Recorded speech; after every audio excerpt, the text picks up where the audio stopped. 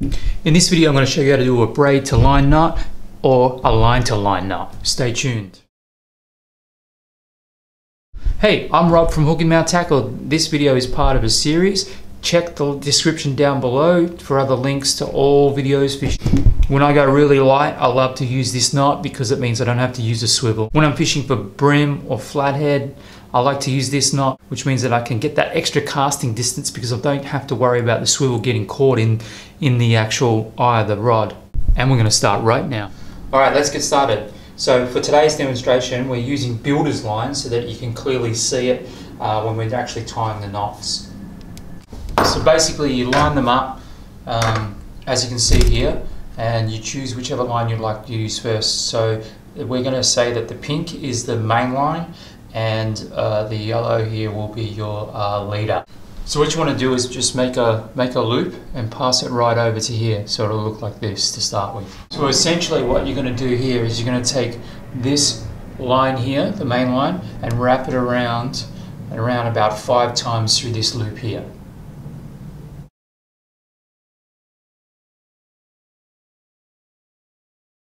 So there's no amount of times that you actually have to wrap it. I like to do five at a time, but it's really up to you. So essentially what you have now is four tab ends. Normally what you would do is you would lubricate this area here because we're obviously using builder's line, we're not going to do that. But all you need to do from this point is pick your knot up again and you just basically pull, pull all four together and it starts to form the first knot. Okay. Pull them along until it tightens up. Bunch it up a bit together. Now you first, you have your first knot. Alright, so basically we're going to do the same thing again, but this time we're going to grab the leader and we're going to make a loop and wrap that around, okay? So grab your leader, make your loop, and then start to wrap that around. And like we did before, we did five times, we're going to do the same thing again.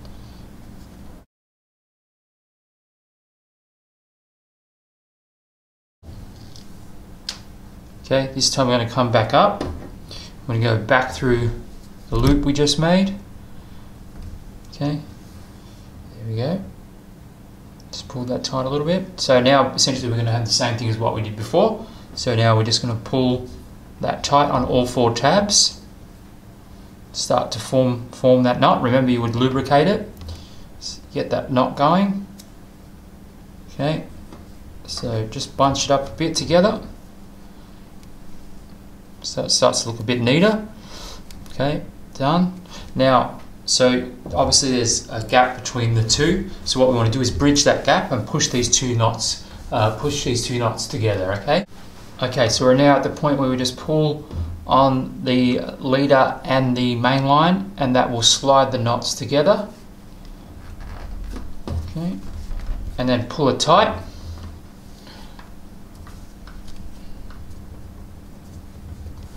And that's basically it. Alright, we're just going to uh, finish this off by cutting off the tab ends. There you have it.